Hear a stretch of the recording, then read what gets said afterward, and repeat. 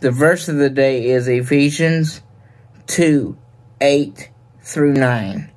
CEV.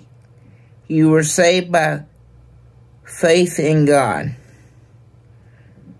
who treats us better than we deserve. That's God's gift to you. And not anything you have done on your own. It isn't something you have earned. So there's nothing you can brag about. Again, the verse of the day is Ephesians 2 8 through 9. You were saved by faith in God, who treats us better than we deserve. This is God's gift to you, and nothing, and not anything you have done on your own.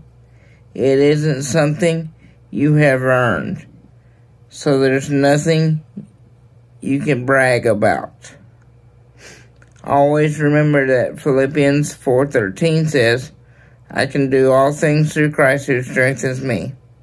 If you have your own favorite verse, please put that down below and let me know what it is. Again, the verse of the day is Ephesians 2 8 and 9.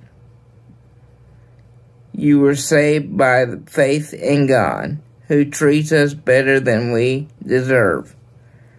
That is God's gift to you, and not anything you have done on your own.